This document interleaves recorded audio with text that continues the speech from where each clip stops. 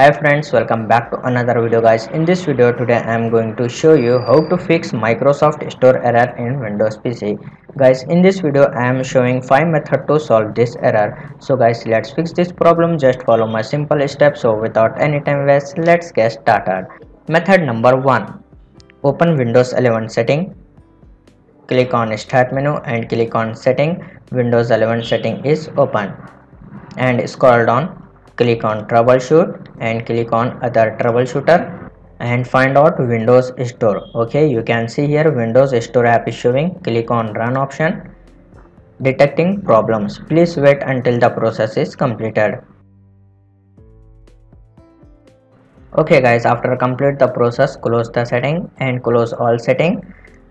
Method number 2 open windows 11 search bar and type powershell okay like this and right click click on run as administrator. Okay type like this ws reset and press enter.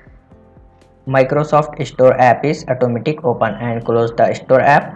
Okay and close powershell.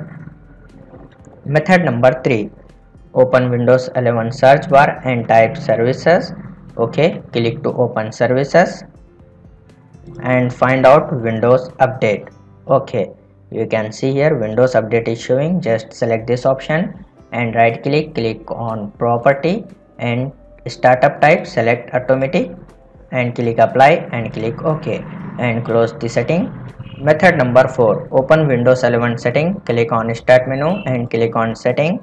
Left side of the panel you can see here time and language option is showing. Just click on it and click on language and region option you can see here country or region option is showing. Select the right region. So i will select india. Okay like this. And close this setting. Method number 5 again open windows 11 setting. Click on start menu and click on setting. Left side of the panel you can see here apps option is showing. Just click on it and click on apps and feature. And click on search bar type store. Okay microsoft store is showing. You can see here three dots is showing. Just click on it. Click on advanced option. And scroll down. Click on repair.